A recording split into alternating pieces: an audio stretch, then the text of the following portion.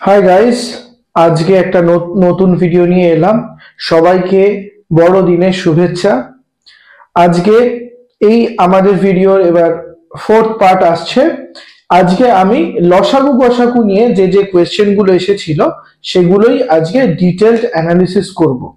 আজকে যে কোয়েশ্চেনগুলো আছে, সেগুলো কিন্তু খুবই অ্যানালিটিক্যাল কোয়েশ্চেন ডিরেক্টলি ওরকম ভাবে অঙ্ক করে আমি সলভ করতে পারব না। ওই স্টিপুলেটেড টাইম পিরিয়ডের মধ্যে।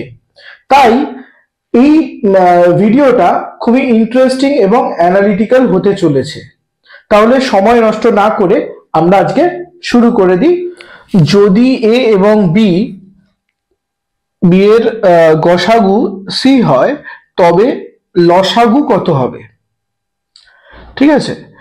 Option A A B C option B, A B by C option C A C by B option D C by A B তো একদম আমরা ফর্মুলাটা জানি কি? যে দুটি সংখ্যার গুণফল ইকুয়াল টু ওই দুই, ওই দুটি সংখ্যার লসাগু এবং গসাগুর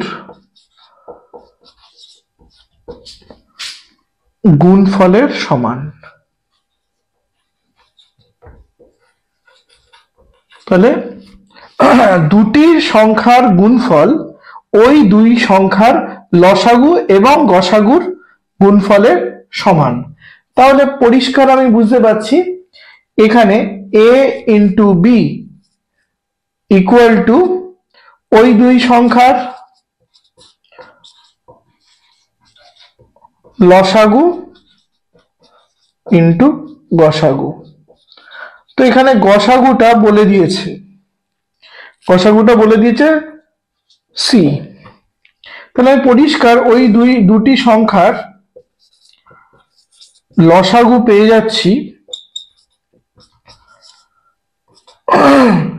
এ ইন্টু বি সিটা তলায় চলে এলো। তলায় সি তাহলে A B by C. Option B is the right answer. ঠিক আছে? এইখানে এই ফর্মুলাটাই খুব ইম্পর্টেন্ট ফর্মুলা। এইখানটা থেকে প্রচুর অঙ্ক আসে। একদম এটা মাথার মধ্যে ঢুকিয়ে নিতে হবে। এটা খুবই সিম্পল অঙ্ক ছিল। মানে এবার আমি যদি এটা শর্ট মেথডে করি বা শর্ট করি, কীভাবে করব? কিছুই নয়। A into B C into X X হচ্ছে গসাগু। তাহলে X equal to A B by C খুব সহজেই জিনিসটা হয়ে যাবে। তাহলে আমরা পরের অঙ্কে চলে আসি।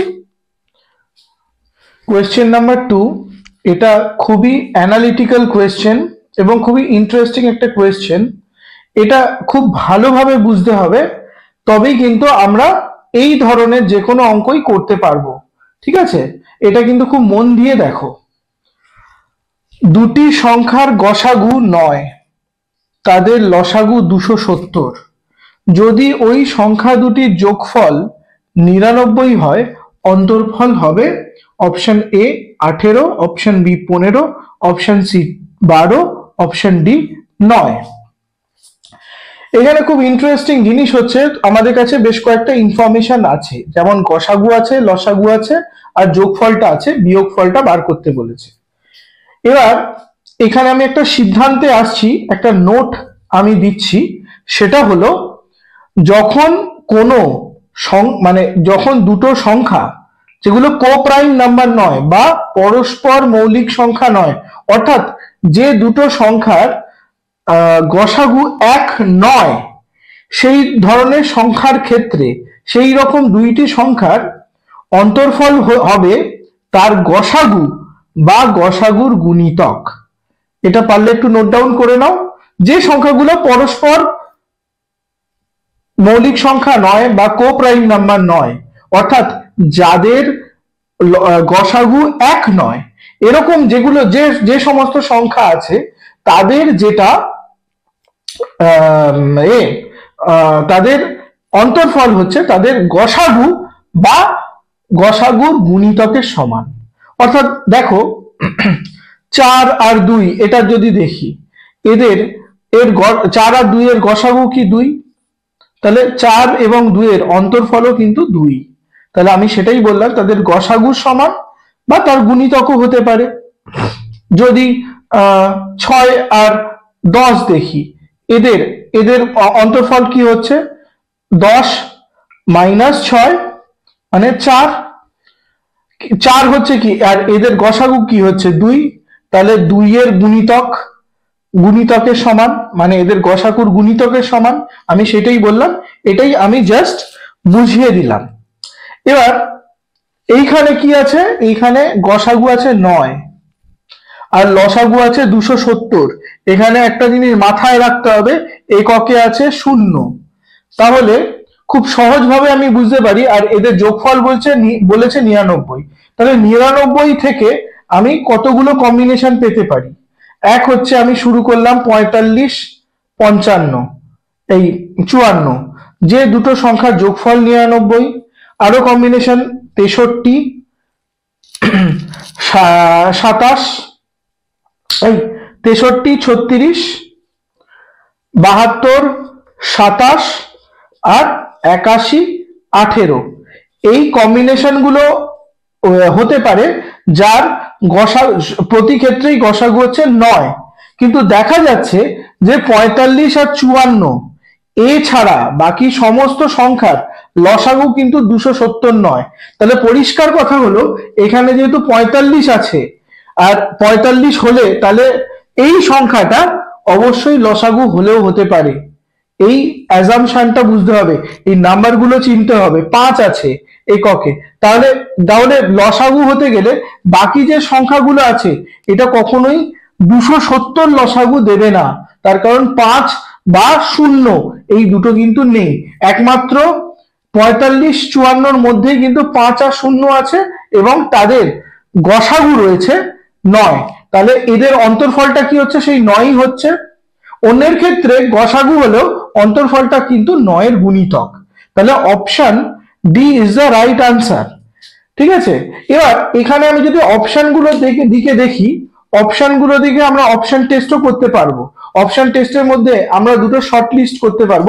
ওদের অন্তর্ফল যদি পনেরো বা বারো যেগুলো হতো অন্তর্ফল, তাহলে কখনোই নয় গসাগু কিন্তু হতো না।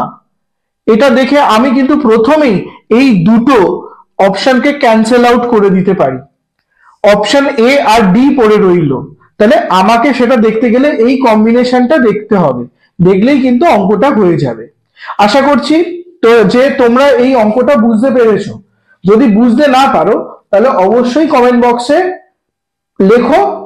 তাহলে আমি কিন্তু পরবর্তীকালে অন্য ভিডিওতে একদম যখন আমি আরও ডিটেলড ভিডিও বানাবো, লসাগু গসাগুর ওপর, তখন মাথায় রেখে আমি অবশ্যই আরও পরিষ্কারভাবে কনসেপ্টটা ক্লিয়ার করব। ঠিক আছে? ভিডিও যাতে লেন্থ না বেড়ে যায়, সেই জন্য আমি এর বেশি আর বলতে পারছি না, আমি পরের অঙ্কে চলে যাচ্ছি। কোয়েশ্চেন নাম্বার থ্রি এই কোয়েশ্চেনটাও আগের কোয়েশ্চেনের মতোই মানে ভেরি লজিক্যাল সাতাত্তরকে এমন দ্বিভাগে বিভক্ত করা হলো যাতে ওই দুই অংশের গসাগু এগারো হয় এবং লসাগু একশো দশ হয়। তবে ক্ষুদ্র অংশটি হলো অপশন এ এগারো, অপশন বি বাইশ, অপশন সি চুয়াল্লিশ, অপশন ডি পঞ্চান্ন। দেখো, এখানে ইনফরমেশন কি দেওয়া আছে? গসাগু দেওয়া আছে এগারো, লসাগু দেওয়া আছে একশো দশ, আর সাতাত্তরকে ভাঙছে। তাহলে সাতাত্তরকে এমন ভাবে ভাঙবে যে যার যেগুলো বেরোবে তার গুণিতক, সেটা অবশ্যই এগারোর গুণিতক। তাহলে আমি সাতাত্তরকে সেইভাবে ভাঙার চেষ্টা করি। এগারো প্লাস ছেষট্টি, বাইশ প্লাস পঞ্চান্ন, তেত্রিশ প্লাস চুয়াল্লিশ, আর কোনোভাবে আর কোনোভাবে কি যাচ্ছে? এগারো, বাইশ, তেত্রিশ, ছেষট্টি, পঞ্চান্ন, চুয়াল্লিশ। আর আর হচ্ছে কি? এই তিনটে আসছে কম্বিনেশন এই তিনটে কম্বিনেশনে আমরা কি দেখতে পাচ্ছি? যে প্রতি ক্ষেত্রেই এইচসিএফ বা গসাগু আসছে এগারো। প্রতি ক্ষেত্রেই। কিন্তু কিন্তু একটা জিনিস জেনে রাখতে হবে, এদের লসাগু কিন্তু এই দুটি ক্ষেত্রে লসাগু কিন্তু কোনোভাবেই একশো দশ নয়। কারণ একশো দশ থাকতে গেলে ছয় বা চার থাকলে তো হবে না, পাঁচ বা শূন্য থাকতে হবে। তবে একশো দশ যেখানে এককে শূন্য আছে, সেই সংখ্যাটা এসেছে। এখানে একমাত্র পঞ্চান্ন আর বাইশ এই সংখ্যাটার ক্ষেত্রে দেখা যাচ্ছে যে তাদের এ হচ্ছে একশো দশ। তাদের লসাগু হচ্ছে একশো দশ আর গসাগু হচ্ছে এগারো। তাহলে বাইশ হচ্ছে ছোট সংখ্যাটা আর বড় সংখ্যাটা হচ্ছে পঞ্চান্ন। তাহলে option B is the right answer এবার, এটা তো গেল বেসিক থেকে আমি ভাবলাম, যেহেতু আগের অঙ্কেও আমি এই কনসেপ্টটা এক্সপ্লেন করে দিয়েছি, তাই আশা করছি তোমাদের বুঝতে খুব একটা অসুবিধা হবে না।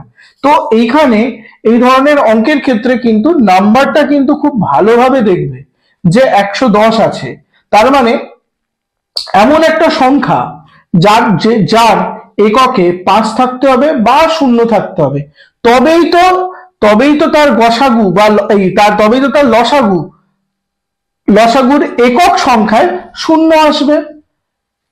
এই বাকি ক্ষেত্রে, এই বাকি কম্বিনেশনগুলোর ক্ষেত্রে কোনোভাবেই আসতে পারে না। তাহলে তাহলে তাহলে এখান থেকে আমরা পরিষ্কারভাবে অপশন গুলোকে চুজ করে নিতে পারব। কারণ এখানে যদি একশো দশ থেকে আমি খুব সহজে বড় সংখ্যাটা পেয়ে যাচ্ছি পঞ্চান্ন। তাহলে বড় সংখ্যার সঙ্গে কত যোগ করলে সাতাত্তর হবে? বাইশ যোগ করলে সাতাত্তর হবে। তাহলে ছোট অংশটাও এখান থেকে আমরা পেয়ে যাব। এইভাবে লজিক্যালি আমি অঙ্কটা করালাম। ঠিক আছে? যদি তোমাদের ভালো লাগে, তাহলে অবশ্যই কমেন্ট করে জানাবে এবং কোনো যদি ডাউট লাগে, তাহলে সেটাও জানাবে। কারণ তোমরা যদি না জানাও আমি কিন্তু মোটিভেটেড মোটিভেটেড হব না যে নেক্সট ভিডিও বানানোর। অবশ্যই একটা ফিডব্যাক দেবে যাতে আমি আরও বেশিভাবে ভিডিও বানানোর জন্য মোটিভেশন পাই। ঠিক আছে? তোমরা ভালো থেকো বড় দিনটা ভালো করে কাটাও এবং বাকি সামনে নতুন বছর আসছে সেটাও ভালোভাবে কাটাও। ঠিক আছে? তাহলে পরের একটা ভিডিওতে দেখা হচ্ছে, পরের পার্টে আমি আসছি। Good night